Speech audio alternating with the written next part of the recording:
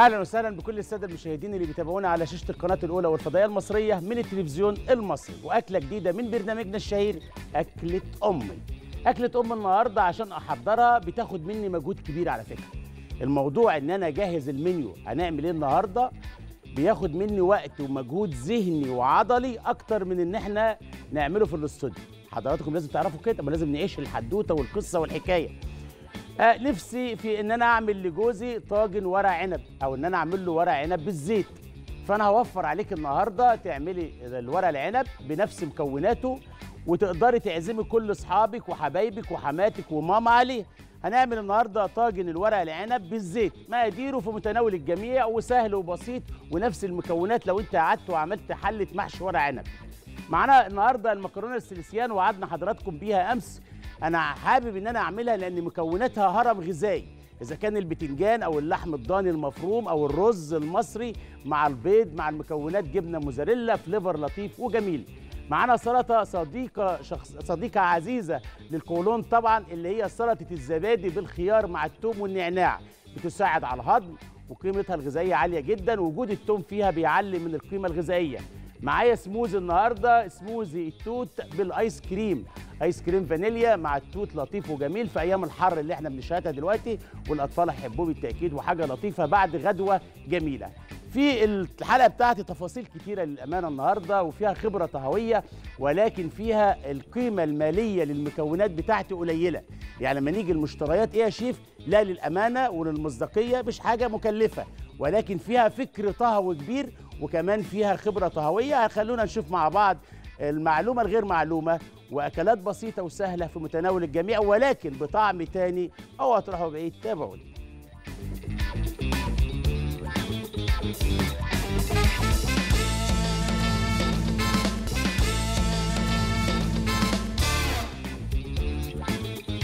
ورجعنا لحضراتكم بعد الفاصل. محلك سرك يا أبو الشيف. تعالوا نشوف خط سير الحلقة بيمشي إزاي مع بعض. عندنا مكرونة سلسيان مكوناتها كتيرة قوي وعندنا ورق عنب طاجن لطيف وجميل ومعانا سلطة الزبادي بالثوم والنعناع مع الخيار وكمان معانا الآيس كريم بتاعنا سموزي بالتوت.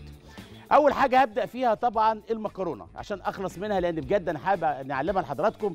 لأن الطبق ده الأطفال والكبار هيحبوه. مقاديره على الشاشة فريق الإعداد المقادير بتنجان معانا. رومي كبير بيتقطع ويتحمر في الفرن أو يتقلي في الزيت. رز مصري جبنة موزاريلا بيض في المكونات معلقتين دقيق زعتر وملح وفلفل ولحمة مفرومة يا إما ضاني يا إما كندوز حسب الرغبة. المقادير تاني تكتبيها سريعا ورايا أو تصوريها من على شاشة التلفزيون. عبارة عن لحم مفروم ضاني أو كندوز حسب الرغبة. نسبة الدهون فيه تقريبا 20% معانا كمان بتنجان متحمر الصورة الحلوة. إيه البتنجان الحلو ده؟ متحمر أو مشوي في الفرن. معانا جبنة موزاريلا ورز مصري. ما تنسيش طبعا ثلاث بيضات في المكونات ومعلقتين من الدقيق ومعلقتين من الزبدة. تعالوا نشوف نعملها مع بعض إزاي بسرعة كده ونحطها في الفرن ونشوف اللي بعده. لما أجي أعمل مكرونة في قواعد لعمل المكرونة مع الشيف المغازي. سواء بتعملي مكرونة سلسيان أو بتعملي مكرونة بالبشاميل أنا المدرسة بتاعتي بتقول إن المكرونة تتسلق نص سوا وتكمل سواها مع التابع ليها سواء white sauce red sauce ايا كان. هنعملها بشاميل هنعملها سلسيان هنعملها بال seafood حسب الرغبة هنعملها نجرسكو زي ما إحنا عايزين. فالمكرونة هنا مستوية معايا تقريبا نص سوا. آه نبص أول حاجة على سلق المكرونة. آه مخرجنا الجميل. آه آدي سلق المكرونة بالشكل ده كده. آه شوية زيت شوية مية ورشة ملح صغيرة كده وما نكترش الملح كتير. هنسلق المكرونة بالشكل ده كده ونصفيها. أول حاجة علشان تنزل المية بتاعتها وتبرد معايا شوية. اللهم صل على النبي.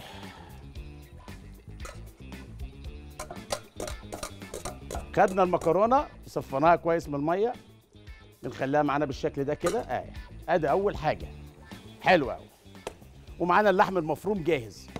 هنبدأ أول حاجة نحط هنا معلقة سمنة مع معلقة زبدة. علشان يبقى الصوص بتاع المكرونة ده فيه شوية دسامة. ونعمل شوية بشاميل صغيرين جدا. مدرسة كده حلوة كده تعلميها علشان البشاميل ده هو اللي هيلم كل المكونات مع بعضيها. مكعب زبدة زي ده كده؟ آه. حلو قوي ومعانا من الدقيق معلقتين صغيرين والمضرب. آه. بشاميل البشاميل ده اللي هيلم لي كل المكونات على بعض. آه. أحمر الدقيق كده اهو وأنا بحمره. أحط له الفليفر بتاعه. آه. كمان شوية.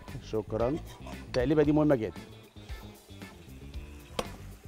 طبق المكرونة ده لما يتعمل بالطريقة ديت بجد هيريحك في إنك تعملي مكرونة بالبشاميل. آه. أقعد أقلب في الدقيق يا عم الشيف لغاية لما أشم ريحة تحمير الدقيق في الزبدة أو الزيت بالشكل ده كده وأنا بحمر. ببدأ أحط له شوية زعتر وإحنا شغالين مع بعض. زعتر مع تحميرة الدقيق بيدي فليفر حلو قوي. آه. سنه فلفل صغيرة كده وشوية الملح بتوع البشاميل. خلص الكلام. ونقلب كده المطبخ ده لما نخش بحب ونخش رايقين فيه هتعملي أحلى شغل. تحميرة الدقيق بدأت أشم ريحة الدقيق مع التوابل. بجيب شوية الحليب. دي أول خطوة.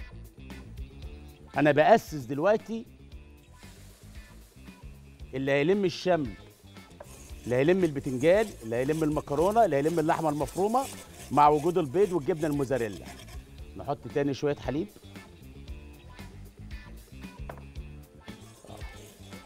ده بشاميل من نوع تاني يعني لونه متغير لأن أنا حاطط له زعتر وبهارات. لأن هياخد بتنجان وهياخد لحمة مفرومة. آه حلو قوي ويكون قوامه بالشكل ده كده. آه بس أنا عايزه كده. ارفع المضرب. بس خلاص ضامن إن الدقيق مستوي وزي الفل. إيه الخطوة اللي بعد كده يا عم الشيف معانا اللحمة المفرومة تنزل على البشاميل. آه. الله عليك. اللحمه المفرومة تنزل على البشاميل.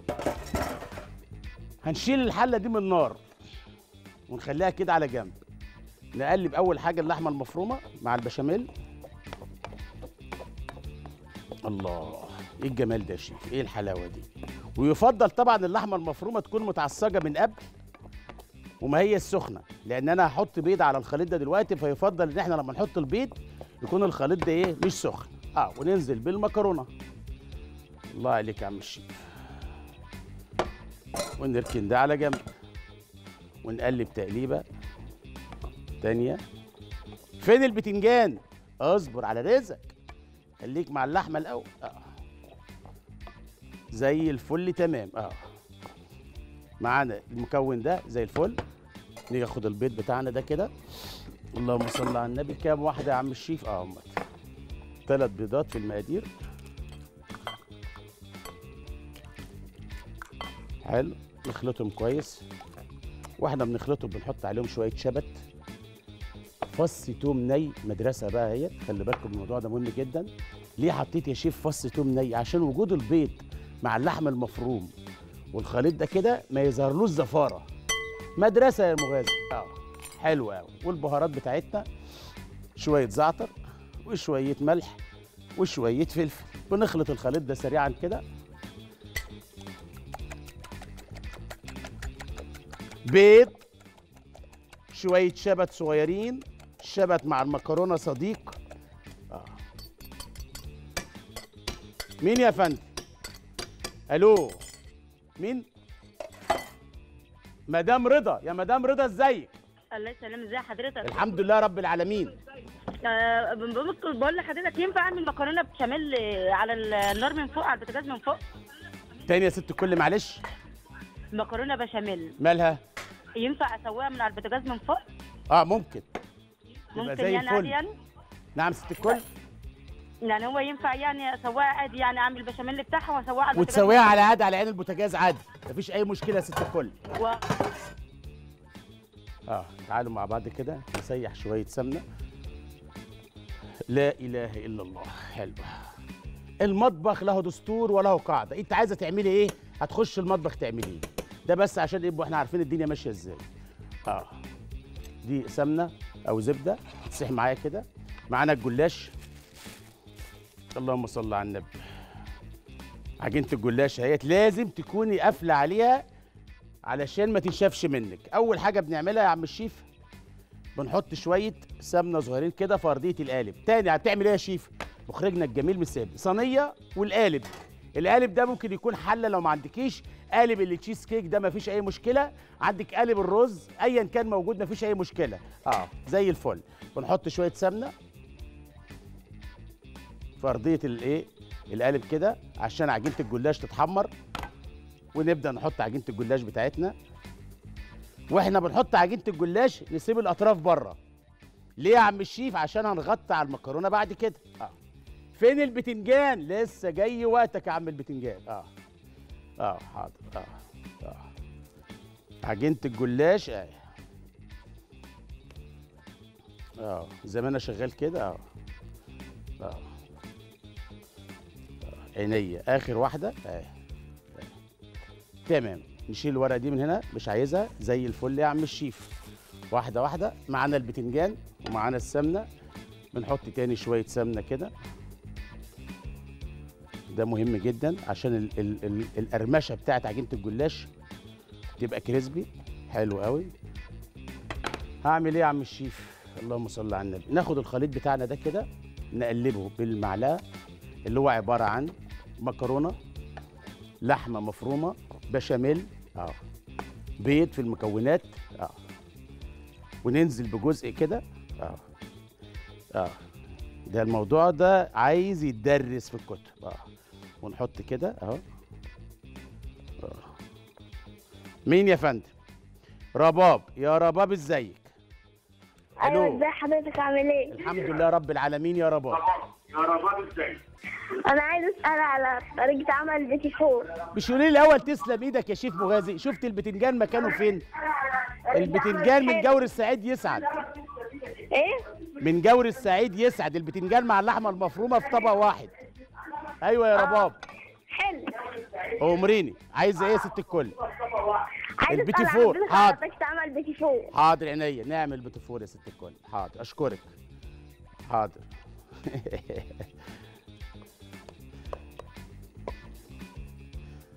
يا ويلي يا ويلي يا ويلي عليك يا شيف. إيه الجمال ده؟ إيه الدلع ده؟ إيه الطبق ده؟ إيه الطبق ده؟ جواه في النص بتاعه كنز من الموزاريلا واللحمة المفرومة والجبنة. الله. شوية بتنجان من اللي قلبك يحبه. آه. وجود البيض هنا مع البشاميل هو اللي هيلم الشمل. الموزاريلا بتاعتنا الموزاريلا بتاعتنا ونقفل عليها كده. اللهم صل على النبي. وإحنا بنقفل بقى نعمل إيه؟ معانا زبدة.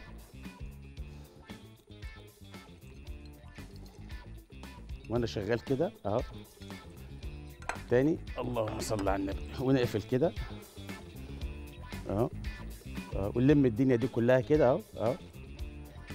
تاني. أهو. آه الله الله. درجة حرارة الفرن جاهزة 180 كأنك بتعملي قالب كيك. مش قالب سيليسيال. آه. آه. آه. كل ده مع بعضه. اللي هياكل من الطبق ده هيدعي لي. طبعا ده بعد ما يخش الفرن ويستوي يا عم الشيف يطلع يبرد كده ونقطعه زي قالب الكيك. نلاقي جواه بتنجان لحمة الفقير. نلاقي جواه بيض نلاقي جواه جبنة موزاريلا نلاقي جواه كمان لحمة ضاني مكرونة كل ده. درجة حرارة الفرن عند 180 هندخله الفرن كده عشان هنطلع فاصل. ولكن لازم نظبط الفرن بتاعنا. آه. آه.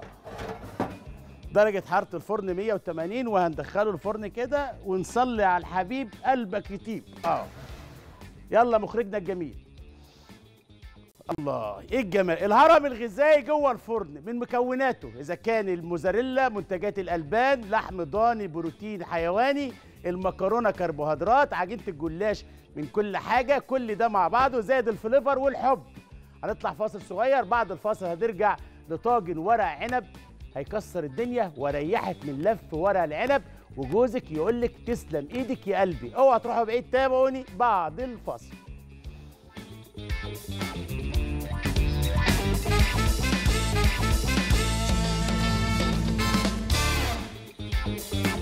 ورجعنا لحضراتكم بعد الفاصل. محلك سرك يا أبو الشيف. تعالوا نشوف إزاي نعمل طاجن ورق العنب ونريحك من الوقت وتكسبي وقت الحاجات تانية في البيت مطلوبة منك.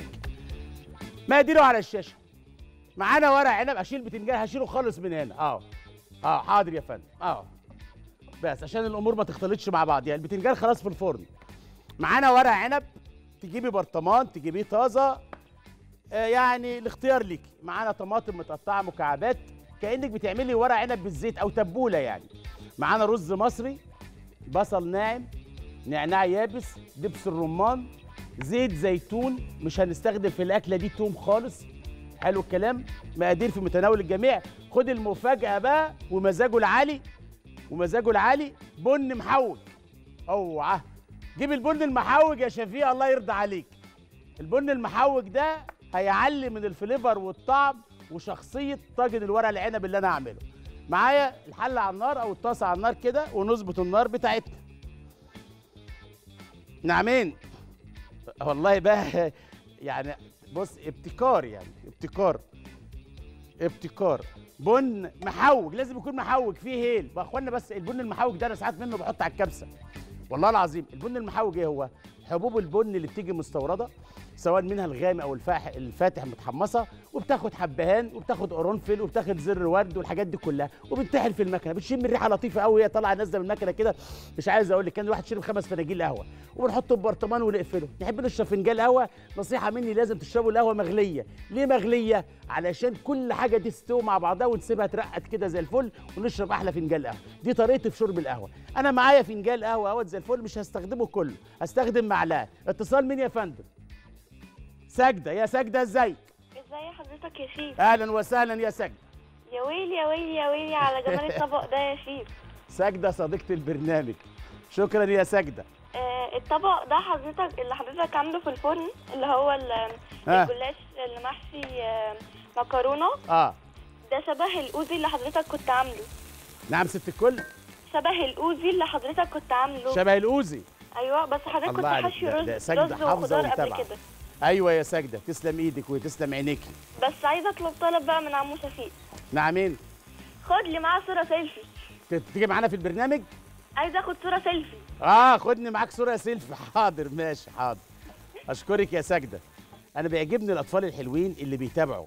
وكويس إن الطفل بيشغل نفسه بيفتح التلفزيون المصري اللي إحنا اتربينا عليه ويتابع البرامج ويشوف الحاجات الحلوة ويتعلموا الأكل وخاصة البنوتات الحلوين. دي حاجة حلوة يعني حاجة تبشر باللي باللي جاي إن شاء الله.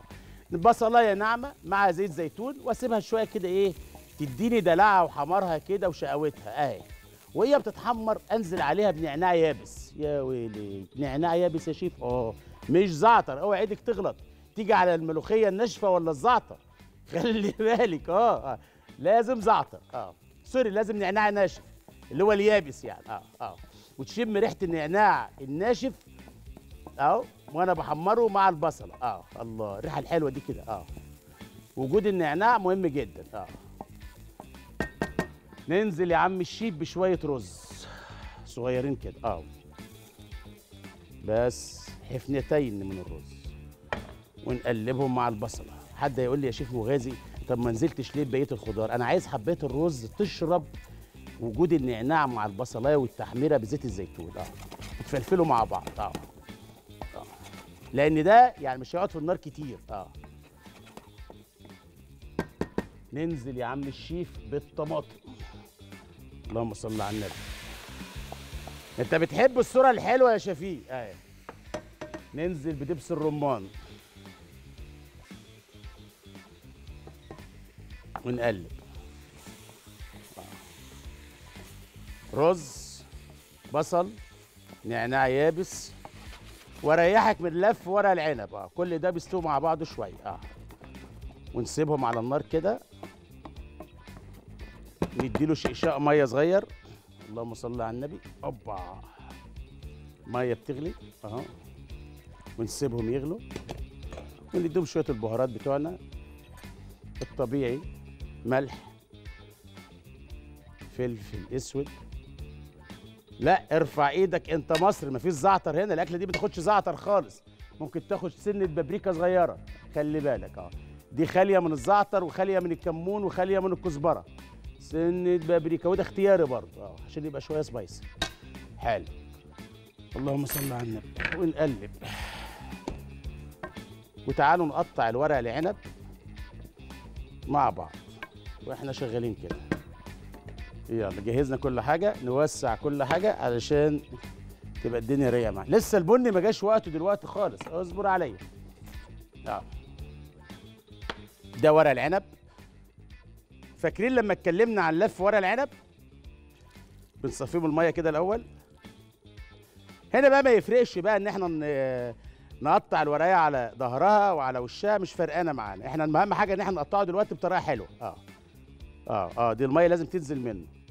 ولما تجيبي برطمان ورق عنب يا أختي يا خالتي يا عمتي يا مامتي يا زوجتي يا كل اللي بتتابعوني أمهاتنا العظماء لازم تغسليه من مادة الحفظ اللي موجودة في البرطمان. يتغسل بمية سخنة ولا مية ساقعه مية ساقعه ما يتغسلش بمية سخنة علشان نخلصه من مادة الحفظ. آه بالشكل ده كده. آه. مين يا فندم؟ الأستاذ أشرف. يا أستاذ أشرف إزيك؟ السلام عليكم. سلام ورحمة الله وبركاته. إزيك يا شيف إزيك يا غالي؟ الله ينور عليك على الجمال اللي بتعمله ده والله. إيه رأيك؟ مراتك تأكلك طاجن ورق عنب في وقت قليل جدا. أنا طباخ بعمل أكل في البيت برضه. مع مين بعمل جميع أنواع الطواجن وبعمل كل حاجة. بتخش المطبخ؟ طبعا طبعا. ده أنا يوم الجمعة الأكل في البيت على أنا اللي بعمله. أنت اللي بتعمل أكل يوم الجمعة. طب عملت الجمعة اللي فاتت يا عم أشرف؟ عملت الجمعة اللي فاتت كباب ده عشان كان لسه خارجين من العيد و... ومكرونة سباكيتي باللحمة المفرومة. حلو. تسلم إيدك. الله يسلمك. أنا بيعجبني. الراجل اللي بيخش المطبخ. لا ده أنا دكتوراه في المطبخ ما تقلقش. قول لي تحب أعمل لك إيه يا عم أشرف؟ والله أنا نفسي آكل طاجن ورق عنب بالكوارع. بسيطة نفس اللي بعمله ده كده هتجيب كوارع تخليها وتحطها في قلبه. دي طريقة. إذا مش عاجباك الطريقة ديت بتجيب الكوارع تسويها وترصها في أرضية الحلة اللي هي الطنجرة وبعدين تاخد ورق عنب وتساعد المدام في لف ورق العنب. وتعمل أحلى طاجن ورق عنب بالكوارع. أهم حاجة إنك تساعدها. ورق العنب يتقطع كده آه اللهم صل على النبي آه بالشكل ده كده آه تمام. ونمسكه نفلفله كده عشان ما ينزلش يعجل لازم ده يبان. آه. إيه يا شيف السهولة دي يا شيف؟ ده أنا بقعد ساعتين والواد يعيط وأقعد ألف ورق عنب. آه وإيديا توجعني. آه آه لسه. لسه. هنا بقى في حاجة. مخرجنا أساتذة المصورين حبايبي فرسان التلفزيون المصري. ده بن محوج على ورق العنب. يشيل الزناخة يشيل مادة الحفظ يشيل الطعم بالشكل ده كده. معلقتين من البن آه. ونقلب ورق. الله ده أنا أكله ني والله. كده الواحد مش محتاج إن هو يحطه في النار خالص زي ما هو كده. حلو قوي جرب بص هقول لك على حاجة. ما تخت... بص ما تقوليش الشيف بيخترع. إحنا هنروح من بعض فين؟ إحنا كل يوم مع بعض دلوقتي. آه. جربي وقولي لي. عجبك. اعمليه مرة واثنين وثلاثة. ما عجبكيش؟ اهي جربنا حاجة. والمطبخ اهو يعني اللي اخترع الأكلات دي كلها والجو ده كله. نقلب.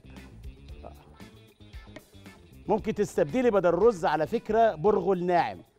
يعني اذا الرز عاملة دايت مثلا تاخد البرغل طبعا الناعم أو الخشن زي ما أنت عايزة اللي هو بتاع التبولة وتحطيه مكان الرز حسب ما تحبي الله إيه الجمال ده يا شيف؟ آه. شامم ريحة مطحنة البن. آه عينيا. بس خلينا أحطه في الطاجن إيه رأيك؟ عشان أدخله الفرن عشان يبقى إحنا إيه عدينا مرحلة. حاضر عينيا. آه. نوسع لنفسنا كده نشيل البن ده من هنا عشان أعرف أشتغل؟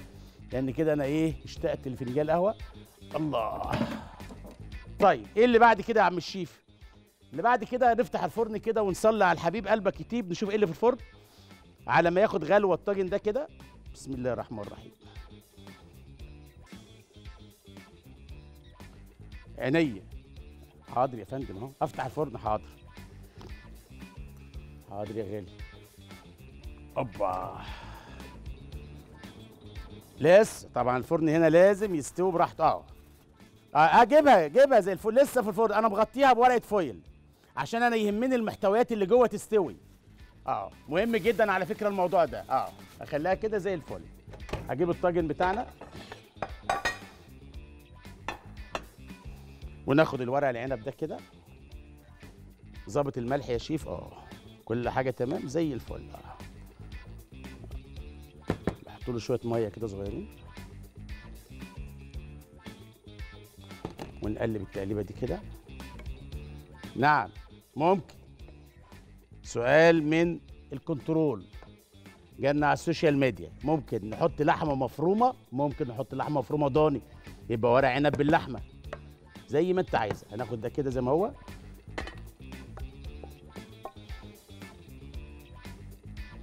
الله.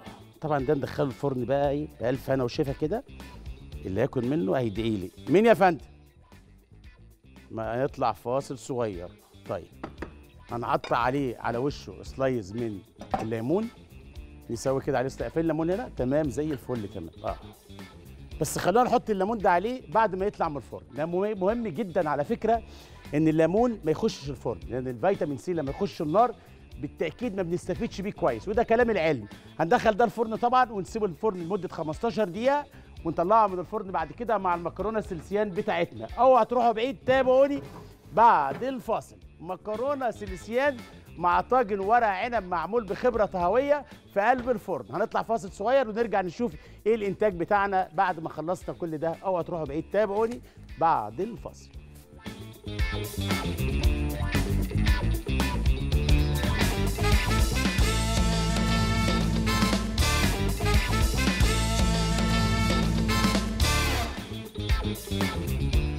ورجعنا لحضراتكم بعد الفاصل. تعالوا نشوفوا جو الحر اللي بنشهده ده ودي الحمد لله يعني لطف ربنا علينا.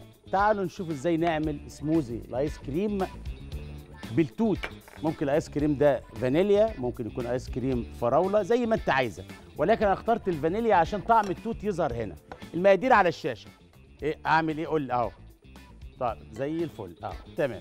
معانا آيس كريم آه معانا التلج ومعانا توت وللأمانة مربى التوت ممكن بديلة ومعانا حليب وتعالوا نشوف نعمله مع بعض إزاي في قلب الخلاط.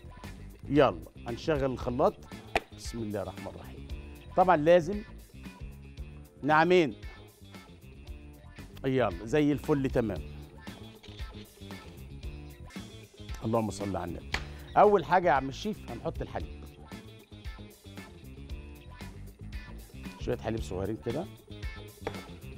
ونحط الآيس كريم بتاعنا. آيس كريم فانيليا. بتشتريه من السوبر ماركت أو بتعمليه عادي. كريم شانتيه. بياخد طعم الفانيليا. معانا مربى توت أو توت. طازة زي الفل. الله إيه الجمال ده على فكرة التوت والعنب يعني عموما الفواكه اللي لونها غامق. غنية بمضادات الأكسدة. فيا ريت نكسر من أكلها. وشوية كمان آيس كريم.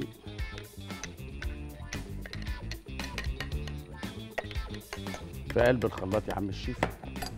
ونصلي على الحبيب قلبك يطيب.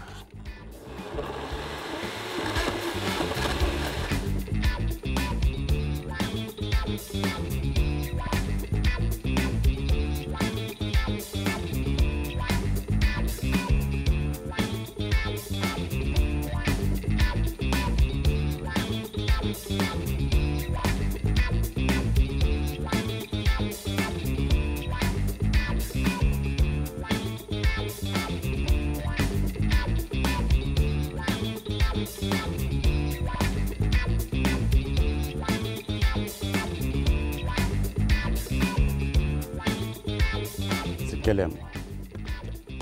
الله الله. إيه الحلاوة دي يا عم الشيف إيه الحلاوة دي يا عم الشيف نصب السموزي بتاعنا بألف هنا وشفا.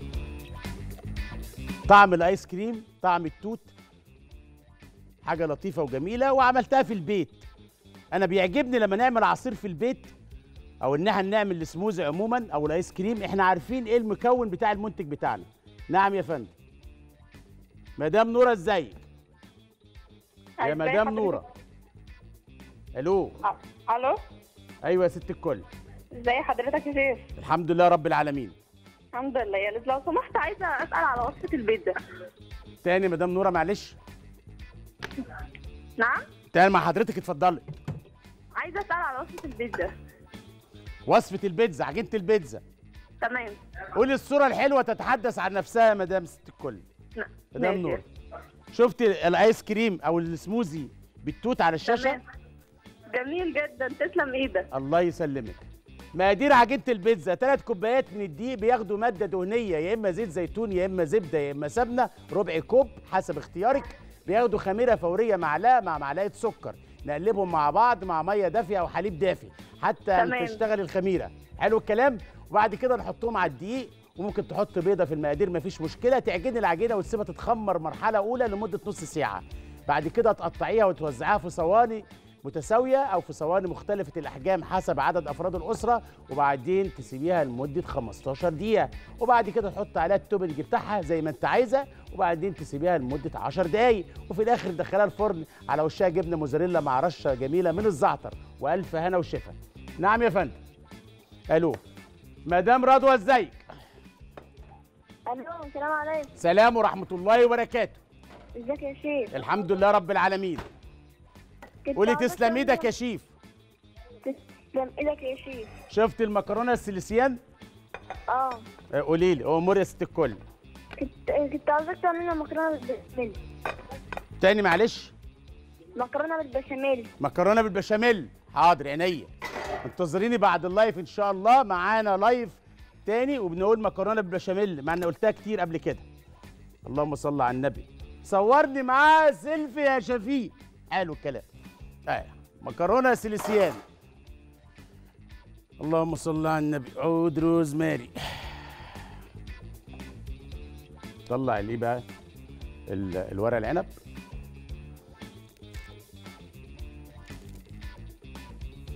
حلو قوي زي الفل.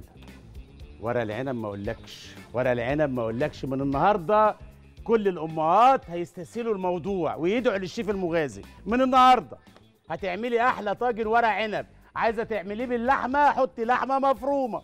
عايزة تعمليه بالفراخ؟ حطي فراخ مفرومة. عايزة تعمليه بالزيت؟ تحطي بقدونس وطماطم. آه. آه. حلو قوي مهم جدا يا عم الشيف نقطع ليمون عليه. فين الليمون. آه ليمونة كده حلوة. نجرنش بيها الطبق بتاعنا. اللهم صل على النبي.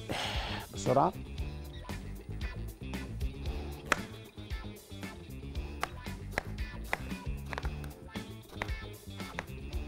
الجرنش والبرزنتيشن مهم جدا على فكرة علشان العين بتاكل.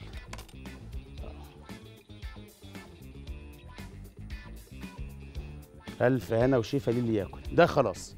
تعالوا مع بعض بسرعة نعمل السلطة اللي أنا وعدت حضراتكم بيها سلطة الزبادي أو النعناع خيار مع النعناع المقادير على الشاشة. مخرجنا الجميل. حلو قوي يا ويلي يا ويلي. شوية زب... المقادير على الشاشة نشوفها مع بعض. خيار زبادي عينيا حاضر. بس السلطة دي سريعا كده بس أنا عايز أحط تركاية هنا. مهمة جدا على فكرة. آه. كلنا بنعمل سلطه الزبادي بالخيار بنقطع الخيار يا عم الشيف ونحطه على الزبادي. الشيف المغذي بيعمل إيه بقى؟ بيقطع الخيار ويحطه في مصفى ورشة ملح عليه. نتخلص من السوائل اللي موجودة فيه. حلو الكلام؟ وبعد كده نحطه مع الخيار ايا كان مع رشة نعناع يابس زي دي كده علشان هنحط توم ني. توم ني مع زيت زيتون. آه. حلو قوي أنا بحب التوم الني دايما مع الزبادي. بيخلي الزبادي شخصيته قوية. آه. والتوم الني له فوائد كتير على فكرة. زيت زيتون يا عم الشيف. وأنا خلصت والله آه ورشة ملح محترمة. ونقلب الطبق ده كده ونقدمه علشان الطبق ده مطلوب. علشان عندنا ورق عنب والورق العنب اللي أنا عامله ده كده عدله سلطة زبادي بالخيار. الله. آه ألف هنا وشفا. الجهاز الهضمي كولون لما بيشوف السلطة دي بيتبسط قوي على فكرة. جبت له حاجة تساعده على الهضم. طول النهار شغال. آه. بناكل بسرعة وما بنهضمش الأكل كويس وما بنضخش الأكل كويس. ولكن علشان نهضم لازم مضغ الأكل جيدا. آه. آه.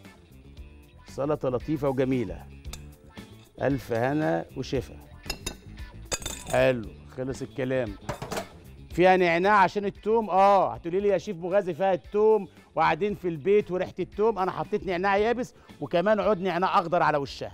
رشة زيت كريمة كده تديها crunch و presentation عالي قوي. ألف هنا وشفا. وزيت الزيتون الطازة بيساعد كمان على الهضم وبيلين المعدة. مطبخنا زي ما حضراتكم شايفين النهارده في بساطة في سهولة. قدرت إن أنا أسهل على حضراتكم تعملي مكرونة لطيفة وجميلة شبه التشيز كيك بالجلاش فيها الهرم الغذائي. عملنا طاجن ورق عنب بسهل على كل ام عظيمة مع وقتها ومع آه، انشغالها بالأولاد إن هي تأكل جوزها ورق العنب آه، صينية طاجن. معانا سلطة لطيفة سلطه الخيار بالزبادي مع النعناع والثوم. ما ننساش طبعا مشروب جميل صحي من الدرجة الأولى رقم واحد ثانيا بيساعد على تلطيف الجو في أيام الحر. مطبخنا؟ رؤية فن إبداع.